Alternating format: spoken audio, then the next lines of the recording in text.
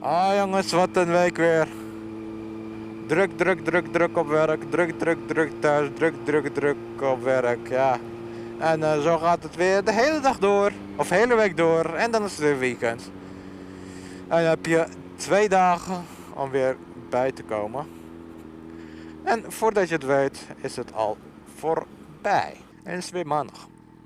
Dan mag je weer alles eh, opnieuw beginnen en aftellen. Weer, totdat het weer vrijdag is. Wie herkent dit? Niemand? Lijkt me sterk. Dan werken jullie niet 40 uur per week? Of jullie houden veel te veel van jullie werk? In de zin van dat het ook je privéleven overneemt. hey, hondenkoers. Lachen. Sweet. Die vondjes. Ah ja. Werkdruk, werkstress, werk, uh,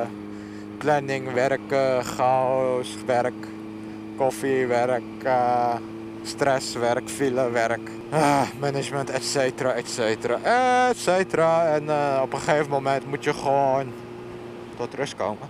En voor mij is dat gewoon motorrijden. Even hoofd leeg maken.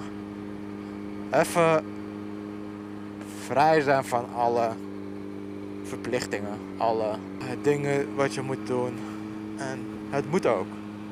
Want je gaat jezelf gewoon gek maken als je geen tijd voor jezelf. Ga je nog? Ga je nog? Gaat het? Hé, hey. ja.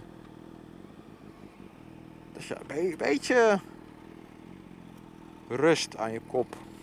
Om weer fris te beginnen aan je week.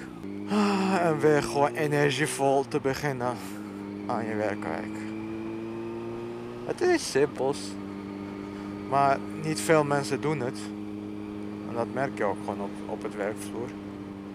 En dan vraag je, ja, wat heb je de hele, hele weekend gedaan? Van, van, ja, ik heb niks gedaan. Ik heb gewoon even zitten werken, even zitten relaxen. Dan vraag je even door, ja, ik heb wat mails beantwoord. Ik heb even dit afgemaakt. Ik heb uh, zus gedaan. Ik heb even over dit nagedacht. Nou, weet je, weekend is gewoon weekend. Dan moet je gewoon werk loslaten. Ja, dat zag ik als 25-jarige. Maar ja, ik ben waarschijnlijk van de generatie die zegt, of die uh, veel te snel een burn-out krijgt. Puur omdat ze al vanaf school, laten we zeggen HAVO 1 al, of eerder zelfs groep 5, 6 met uh, CITO, Entrace, CITO, uh, et cetera van de basisschool. Continu moeten presteren. En ook continu moeten presteren. Maar toen was er nog veel, veel vrije tijd. HAVO wat minder. Of uh, HAVO. Bij de middelbare school is dat wat minder. Afhankelijk van je rijopleiding. En het wordt alleen maar drukker en drukker en drukker wanneer je uh, doorgaat met je opleiding. Middelbare van middelbare school naar uh, hogeschool slash universiteit.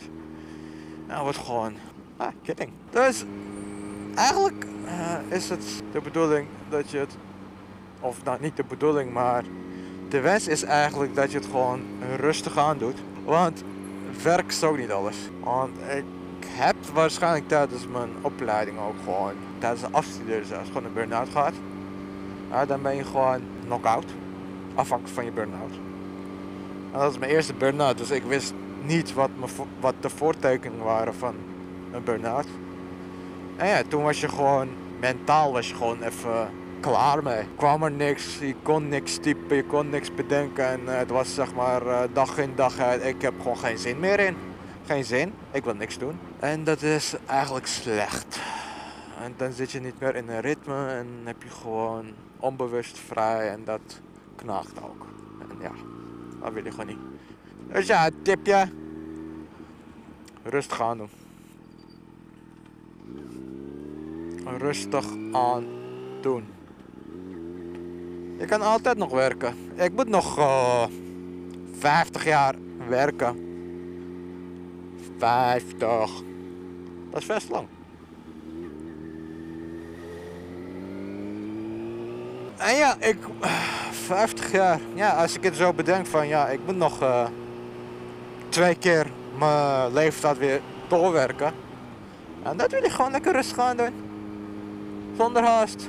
Zonder dat je, dat je het gewoon pijn hebt. en de burn-out. En ja, ik hoop dat ik mijn punt heb gemaakt. Bedankt voor het kijken en ik eh, zie je weer tot de volgende video.